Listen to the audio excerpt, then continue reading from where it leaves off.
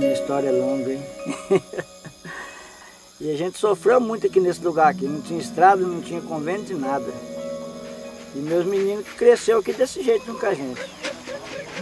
E nós estamos aí até hoje, graças a Deus. Eu gosto muito de árvore. Tem que ter a, a árvore, eu acho que ela ajuda a gente a viver. Você sabia disso? Essa água não secava, aí ali assim tinha uma matinha, né? Eu, o homem de lá roçou tudo, ela diminuiu bem.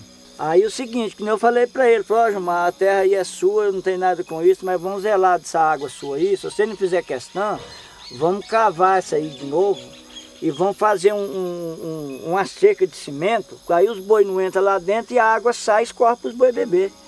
Aí ele falou, não, pode deixar que eu vou fazer isso daqui uns dias. Porque essa água, ela nasce logo ali. Entendeu? Ela não é uma água que tem uma nascente comprida, ela nasce bem ali pertinho. E se nós não zelar dela, vai acabar.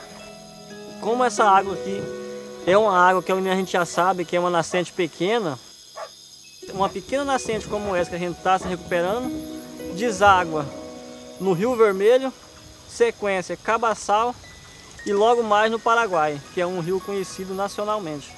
Então, nessa nascente aqui a gente está fazendo de forma específica, porque antes de recuperar e fazer, de cercar, plantar árvore nas, nas bordas, das matas ciliares, a gente fez um, um, planejamento anterior a isso.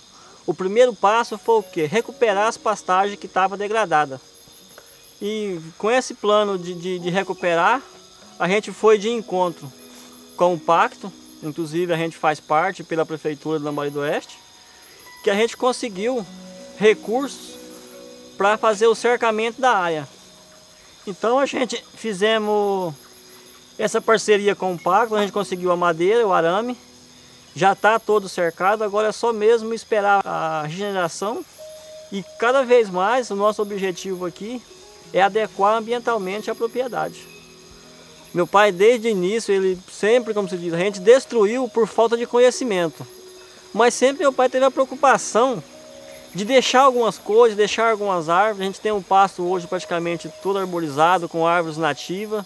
E a gente vive assim, até um momento de alegria agora, por saber que a gente destruiu e está tendo a segunda chance agora de recuperar.